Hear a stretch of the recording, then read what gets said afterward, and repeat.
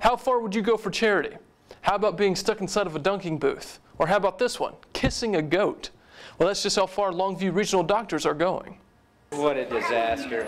Dr. Jonathan Greifenkamp freshened his breath and puckered up, all for this little darling, a 75-pound goat from Hallsville. Can I wipe it off beforehand? The scene is all to raise money for the Greater Longview United Way. And this event kicks off Longview Regional's 2013 fundraising campaign. Dr. Greifenkamp says the rendezvous with the goat wasn't exactly his dream date. Nasty. It's for a good cause. I mean, anything that I can do uh, to help out, help United Way, help our community, I'm willing to do it. This hospital raised money by putting five buckets with five employee photos on them. Other employees donated to the buckets, and the bucket that received the most would be put face to face with this beauty. Hospital Administrator Roy Finch organized the fundraiser. He says it is just a way for the hospital to give back. We see a lot of families in need, and it's just doing our part to be a good uh, citizen uh, of the community.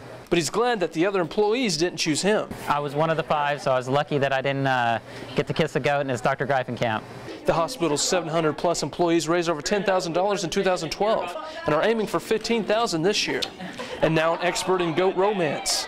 Dr. Greifenkamp has a little advice for anyone else who dares to try it. Wipe the mouth first, move in quick, get out quick. Longview Regional says that they have a few more fundraisers planned for the United Way, but they say that this one alone raised just under $2,000. Reporting in the Longview Bureau, I'm Kevin Boyce, KYTX, CBS 19 News.